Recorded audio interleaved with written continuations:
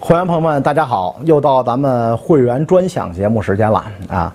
就是以前大家好，袁腾飞彻底消失，永远消失了，以后再也见不到袁腾飞了，这是怎么回事呢？二零二三年七月份时，袁腾飞的 YouTube 官方频道连续近三周没有更新，粉丝们纷纷猜测是不是袁腾飞又出事了。果然，大约七月二十一日时，YouTube 袁腾飞官方频道。突然改成了 Lithiano Club，袁腾飞的相片和名字消失了。随后，该频道又更新了几期节目，但节目中已经没有了袁腾飞本人的图像和声音，只有一个长相类似于袁腾飞的卡通人物，并伴有电脑 AI 的配音。但在西南山区，想要中央直接委派官员，可就太难了。新节目的标题中也用“袁 Sir” 取代了以前的“袁腾飞”三个字。也就是说，袁腾飞再也不会出现在他的频道里了。这次是被彻底封杀干净了。以前袁腾飞只是在国内被封杀，在国外没事，而这次则是国内国外都被封杀干净了。我们以后再也见不到他了，永远都见不到了。那么，都这么多年过去了，从二零零八年到今天，已经整整十五年都过去了，我党为何还念念不忘？还要收拾袁腾飞呢？经研究发现，原来七月十四日，全国网络安全和信息化工作会议在北京召开，习近平对会议做了重要指示。全国网络安全和信息化工作会议七月十四号至十五号在京召开，并传达了习近平重要指示，要加强网上正面宣传引导，防范网络意识形态风险。牢牢掌握网络意识形态工作领导权，坚持党管互联网，加强党对网信工作的全面领导。中共中央总书记、国家主席、中央军委主席习近平近日对网络安全和信息化工作作出重要指示，指出：坚持党管互联网，坚持走中国特色治网之道，坚持正能量是总要求，管得住是硬道理。敢于斗争亮剑，所以在这种情况下，袁腾飞就被亮剑了。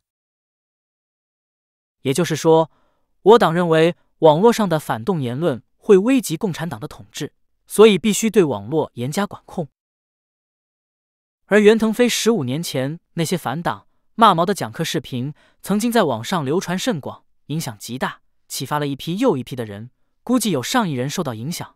这些人成了袁腾飞的基础粉丝，都是坚定的反共分子。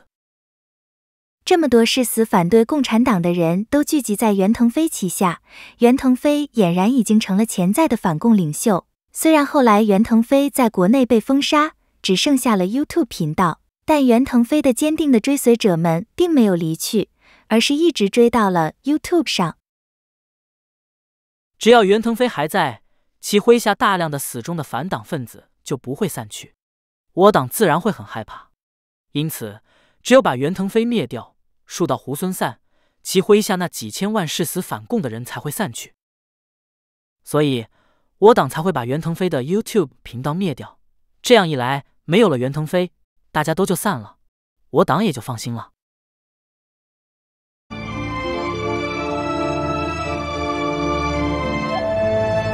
滚滚长江东逝水。十五年了，整整十五年了，袁腾飞终于和大家永远说再见了，以后再也见不到袁老师了。回顾当年，袁腾飞二零零八年横空出世，火爆全国，席卷中华大地，后来先后被整肃了四次，眼睛都被打残了，前几次都能化险为夷，但最终还是未能逃脱时代的枷锁。袁腾飞最终的结局，竟然是变成了一个卡通人物，真让人唏嘘不已。若干年后，当有人刷到这样一个卡通人物的时候，还有谁会知道这个卡通人物的背后隐藏着一段多么曲折离奇的故事啊？